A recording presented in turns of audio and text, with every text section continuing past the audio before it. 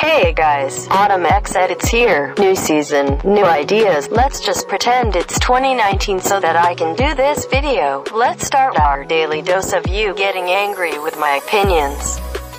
Weeekly went from being unique to any other girl group. Red Velvet is getting old for the industry. 3. Twice is the only hope I have for third gen. 4. Blackpink will disband in 2023, I'm sure and scared.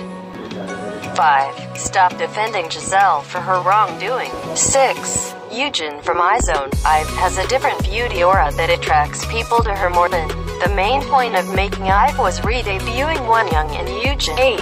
Half of LOONA's members should be removed ASAP. 9. The ASAP punching dance isn't even hard. I do it all day at every time. 10. iZone disbandment was necessary. The girls needed to get out of that shitty company ASAP. 11. Oh oh isn't that bad.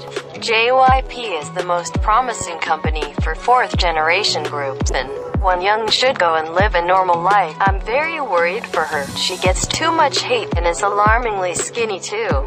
At the end of the day, K-pop is just a music genre. Stop treating idols as gods. Teen. Hype shows start debuting more GGS without a conspiracy. Teen. Twice like Ooh-Ahh was the best debut ever. Minors shouldn't debut at all.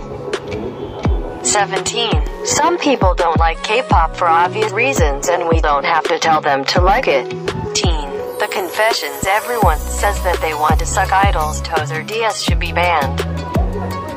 19. No group is considered successful until they are all pretty money. Chaeryeong could have easily been ITZY's visual son. Stan STAYC. 2. NMIXX is the perfect all-rounder group. 3. K-pop isn't a personality trait. 24. Fuck you. 25. BTS hasn't released a good song since 2019, and just like that video's over. Lol, don't tax anything to heart. This is just my opinions, don't hate me for it, guys.